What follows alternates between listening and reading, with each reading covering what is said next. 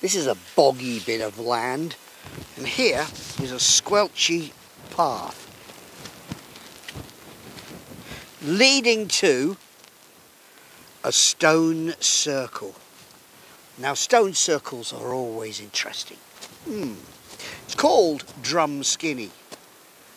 And that, quite clearly, is the drum. It's the right shape, and if you hit it, it makes a noise. Boom, boom, boom. See?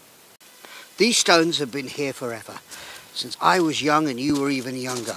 Just a minute, there's a name on this one. M-O-F. Who is Moth?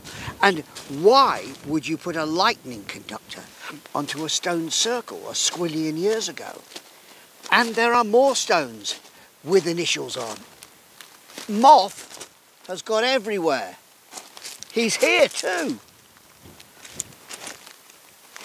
Clearly he spent a lot of time putting his initials on these stones. It's either that or it's the Ministry of Finance who did an archaeological dig here about 50 years ago. Why on earth would they put initials onto these stones? Who knows? But wide awakers, pay attention.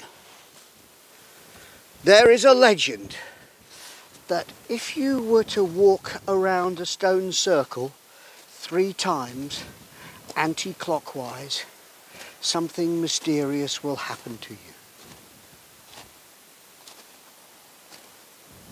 You will get dizzy and fall over.